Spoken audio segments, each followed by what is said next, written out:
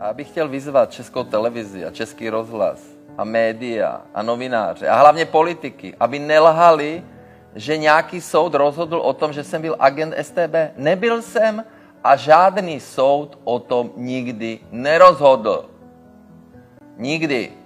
Jak je to tedy možné, že na jedné straně člověk říká, já jsem nic nepodepsal, nikdy jsem nespolupracoval a přesto existuje nějaký svazek. To se mohlo stát, že vznikl nějaký svazek bez vědomí dotyčného člověka?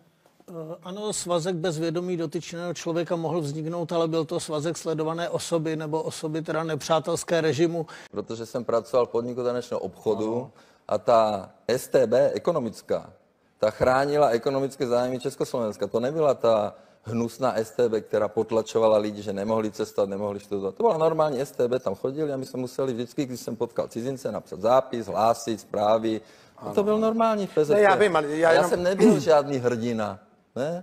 Ale svazek agenta navíc, který byl evidován delší dobu, tedy myslím tři měsíce a déle, tam by ještě byla nějaká jakási možnost, že ta kratinká evidence a takové případy známe, neznamenala vědomou spolupráci, ale pokud je to několik let, je vyloučené, aby ten člověk nevěděl, že vědomě spolupracuje se státní bezpečností. Takovýhle svazek, takováhle spolupráce může vzniknout jenom vědomě. Ano, v kategorii agent, v které je evidován Andrej Babiš, tak není možné, aby ten svazek vznikl bez jeho vědomí. E, navíc ty dokumenty se zachovaly v originále. E, ten agent jako takový se zanášel do celého systému státní bezpečnosti. I v Praze tady v archivu bezpečnostních složek má Andrej Babiš blokační kartu. Je tady zaveden v databázi centrální registr svazků. Jak je možné, že tam není žádný Babišův podpis? Na takovouto spolupráci musí být vázací akt, pokud se nemýlí. E, nemusí na to být vázací akt. Směrnice přímo říká, že pokud by e, podpis vázacího aktu byl na překážku té spolupráci, takže mohou příslušníci STB to vyřešit jinak, což se často stávalo například u historiků nebo lidí, kteří tušili, že jednou se s tím bude pracovat třeba, třeba za sto let, tak aby tam ten podpis nebyl. STB to pak řešila tím, že si například nahrála e, rozhovor s nimi v hospodě nebo nafotila a tam šlo jen o ten kompromitující materiál.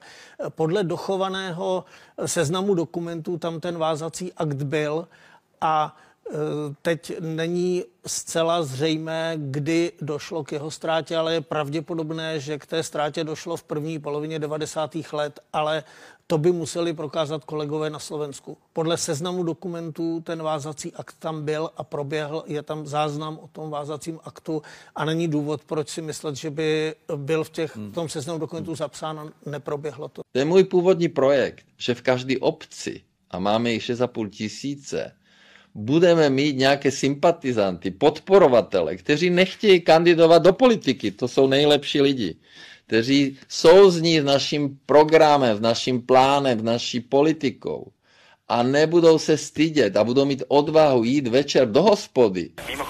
My si sami vládnout nedokážeme, nám vždycky musí někdo vládnout. Tady někdo musí udržovat pořádek. Jestli si myslíte, že ta banda amatérů, pisálků, herců a alkoholiků rozpustila všechny státotvorné struktury, tak to jste na velikým omyl. Na velikým omyl, to vám říkám. Já například nesouhlasím s tím, že všecko se dělalo dřív špatně. Nebo že všichni komunisti byli špatní. To prostě není pravda. Tady je rozkradený stát od Němců, jo, tady je eh, od nadnárodních kartelů, teď je vybrakovaná státní pokladna. S tím se musí něco dělat, no a to už my, o to už my se postaráme, to zase strach nemám, jo. A říct, hele, v té české televizi zase někdo něco povídal, ale to není pravda. Pravda je tohle. Do čela převratu Sovětského svazu jasný, co to výbor pro všechno znamená. V němž jsou Valentin Pavlov, Vladimír Kličkov, Boris Pugo. Rusové jsou od Černá pryč, ne? Nekecej, prosím tě, vyně vodku, vyně vodku. Naši nebo Rusko? Rusko, samozřejmě. A my potřebujeme takové lidi a já vím, že strašně moc mezi vámi je takových lidí. Tak... Chceš si naštvat? Chceš, aby byl naštvaný, co? Generální tajemník NATO Manfred si dávej pozor! To by bylo špatně. Prezident Sovětského svazu Michail Gorbačov Ty jsi byl v SZD? Co? Člověče, no jsi normálně, nemáš peníze na kořálku, bys se chodit plavočit na svý vlastní pole, nebuď blbej. Takže pokud byste měli zájem, a já bych si to hrozně považoval, a chceli byste se aktivně zapojit do našeho hnutí, tak mi prosím napište